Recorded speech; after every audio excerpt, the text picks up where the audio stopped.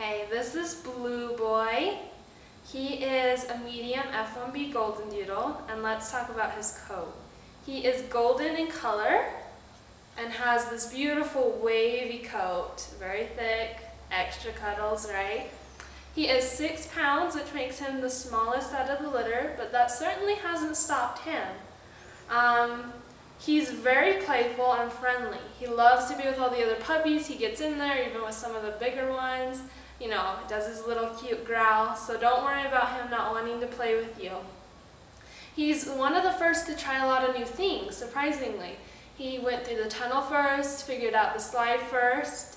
He can, though, be with people a little bit shy, which is kind of surprising. So you need to understand and just give him a few minutes to warm up to you. After that, you'll see just what a great puppy he is. He loves to play, of course, um, and he certainly loves to make you smile.